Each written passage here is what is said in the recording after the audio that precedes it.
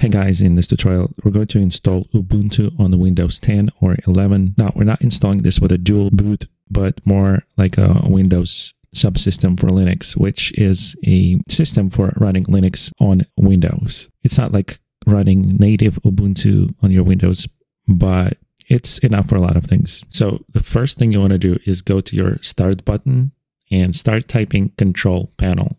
As you're typing control panel, you'll see this button show up. So go ahead and click on that. Now on this screen that shows up, go to programs and then go to turn Windows features on and off, which is a link right over there. Now in this box, go ahead and scroll down all the way. And here you will see Windows subsystem for Linux. I already have it checked, but if you don't, go ahead and click on that. Now you're going to be asked to restart your computer. So go ahead and finish that step.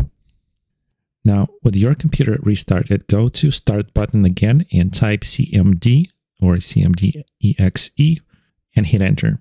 Now, in this command prompt, go ahead and type bash and hit Enter.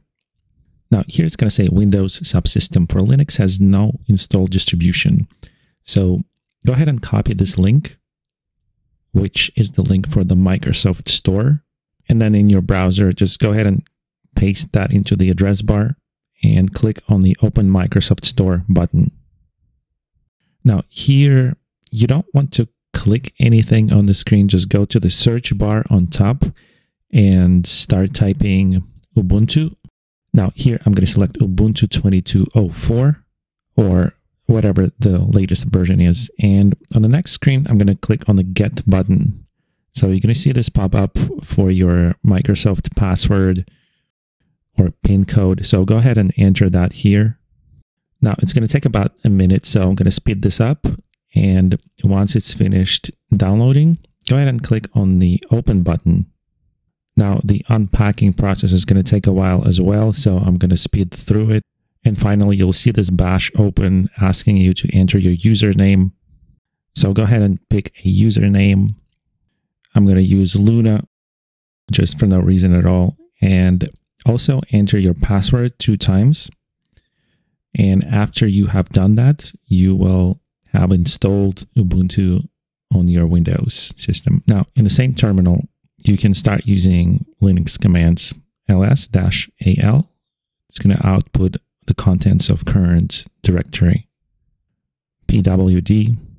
Now, to check which drives you have available here, go ahead and type ls-mnt here I have my C, E, F, G, and R drives. These are the mounted drives on my Windows, but you might have different letters. So I'm going to go and CD into slash MNTC, which is my C drive. And then let's say I'll go to users folder, go to my username. And if I print out the contents of this folder, here I have my random.py program which is a Python program. Then I have some keys, you know, those things. Now I can go to the desktop on my C drive, which will be pretty much empty, I think. So I'm going to ls see the contents of my desktop. And as you can see, I just have here some basic files, luna.txt. I'm going to create a new file by using the touch command and name it felix.txt. Then I'm going to use the, as you can see, I created it here.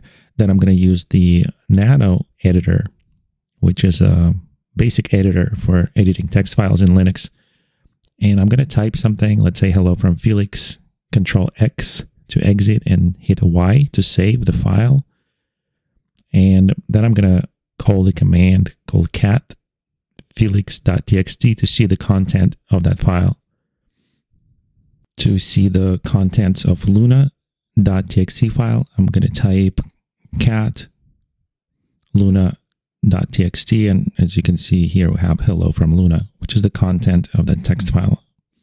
Now with the enabling the subsystem for Linux on Windows, we also installed the bash. So if you go to start button and just type bash, and hit enter or click on open button.